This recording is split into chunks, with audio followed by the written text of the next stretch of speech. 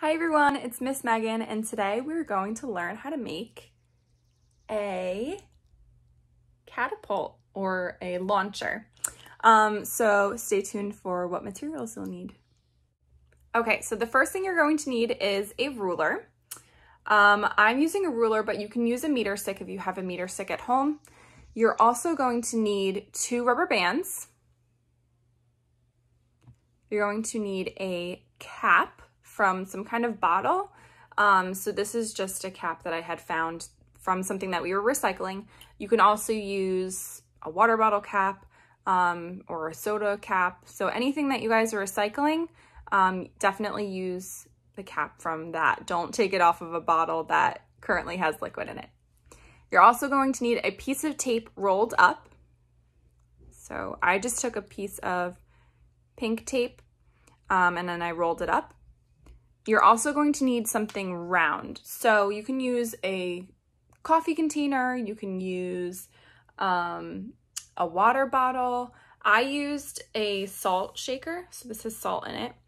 Um, it currently has salt in it, so if you're using something that has some kind of ingredient in it, just make sure that it's closed up really tight.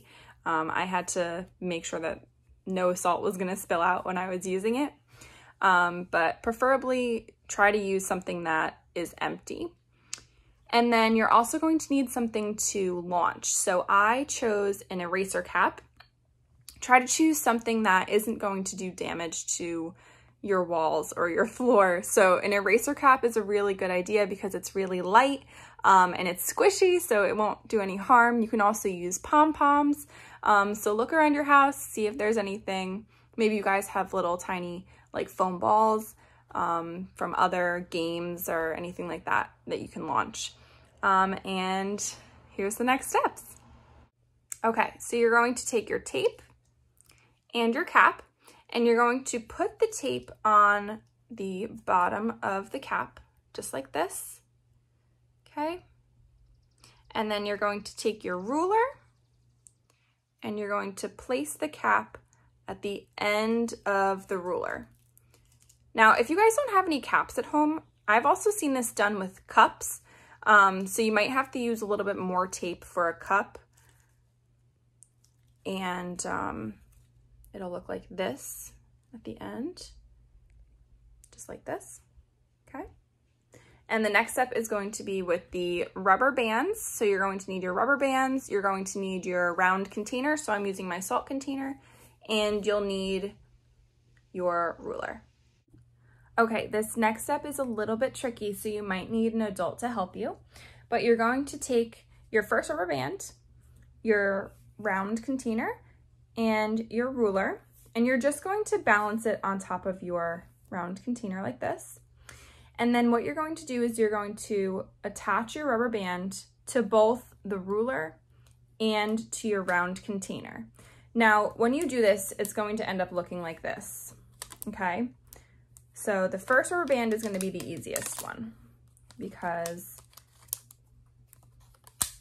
it's going to look like this. However, we want our catapult to be this way. It's gonna look kind of like a T. So to do that, we're going to take our second rubber band and we're going to put it on in the opposite direction. So as you can see when you turn it, it makes a diagonal line. So we want our next rubber band to make a diagonal line in the other direction. So I'm going to